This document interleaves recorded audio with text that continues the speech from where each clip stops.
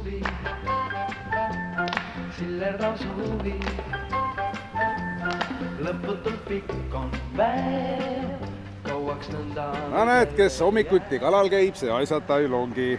näed, mõnusad ümarmudilased, need paneme pärast mõnusasti suitsu, aga enne läheme teeme ühe Eesti mängu ära